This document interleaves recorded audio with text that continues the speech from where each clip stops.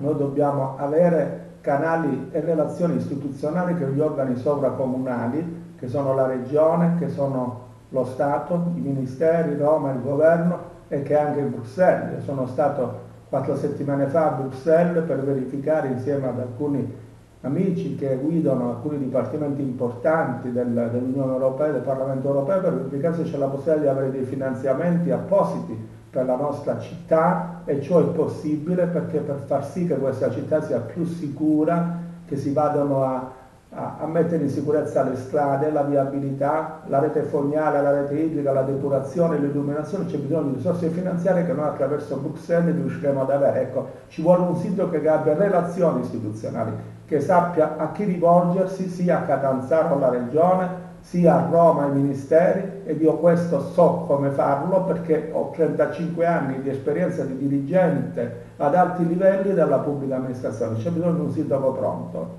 Non ci sarà ballottaggio perché io sono certo che noi avremo un consenso ampio, largo e il 27 a sera sarò il sindaco di questa città insieme alla mia squadra che andrà a governare dal 28 immediatamente perché in questa città c'è tanto da fare non si può avere, sicuramente i cittadini non sceglieranno l'improvvisazione, non sceglieranno la protesta, io chiedo a loro di riflettere un minutino nella cabina elettorale e di scegliere fra le tre proposte di sindaco che hanno qual è la migliore che possa immediatamente far sì che si mettano insieme azioni immediate ma anche future per dare un, un, un, un territorio che sia migliore, che sia buono per la vita dei nostri figli e dei nostri nipoti. Su questo non ho alcun dubbio che sarò io il sindaco della città. Abbiamo detto che ci vuole un sindaco capace, un sindaco competente, un sindaco che abbia relazioni.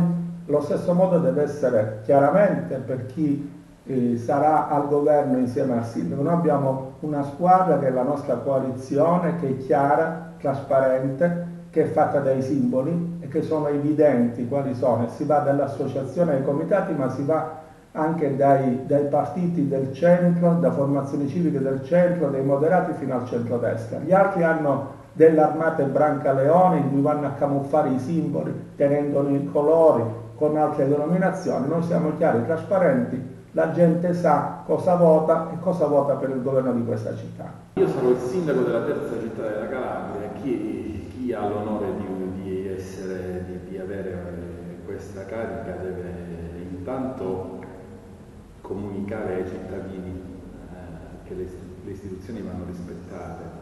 E quello che è successo e succede in Calabria spesso avviene perché c'è o un'incomunicabilità o c'è come dire una, sempre una competizione per altre cose tra istituzioni. Quindi diciamo che mh, mm, mi metterò in connessione con chiunque guiderà questa regione. E soprattutto ringrazierò chi vorrà bene davvero alla mia città questo lo farò da cittadino, da, da primo cittadino, da, lo, lo, chiederò perché questo è, una, è, un, è, un, posto, un pezzo di Calabria, un pezzo d'Italia che merita attenzione e rispetto.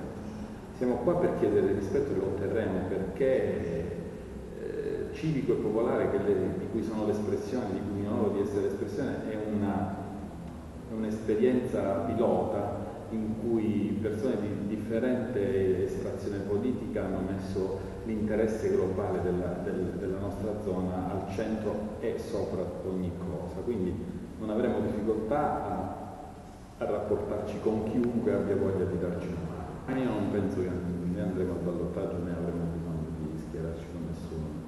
Credo che le percezioni sono ben alte. Ha già pronta una rosa per la sua giunta? Può anticiparci qualche nome o un nome di un assessore? Una rosa rosa, chiamiamola così, va bene? Nessun nome? Mai.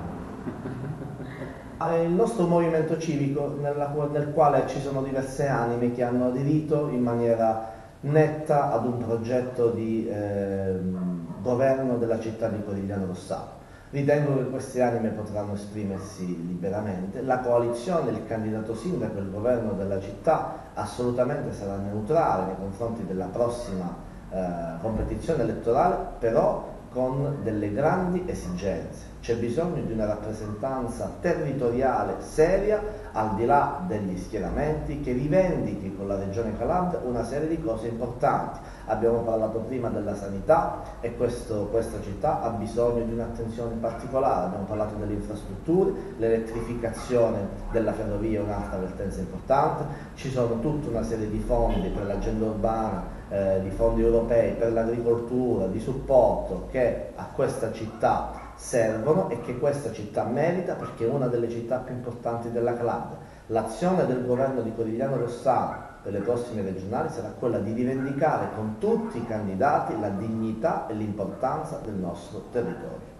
Noi abbiamo già eh, chiarito questa eh, posizione, noi non intendiamo perché abbiamo avviato da tempo un percorso di autonomia, di differenza anche nella strutturazione delle liste, di differenza nell'avvicinamento e nella creazione di classe politica dirigente.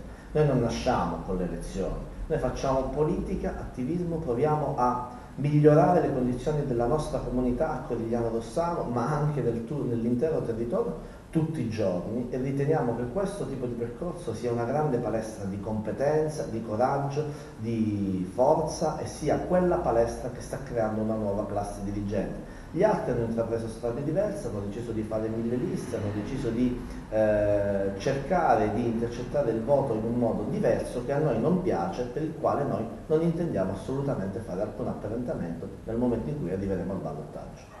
Noi non facciamo nomi, abbiamo già dei profili, lo abbiamo detto già alla nostra gente, vogliamo persone che hanno aderito al progetto politico, non prenderemo persone pescate a caso per farci semplicemente pubblicità e in ogni settore metteremo persone competenti di quel settore, non ci saranno medici a parlare di agricoltura, non ci saranno imprenditori a parlare di cultura, abbiamo intenzione di fare una giunta nuova.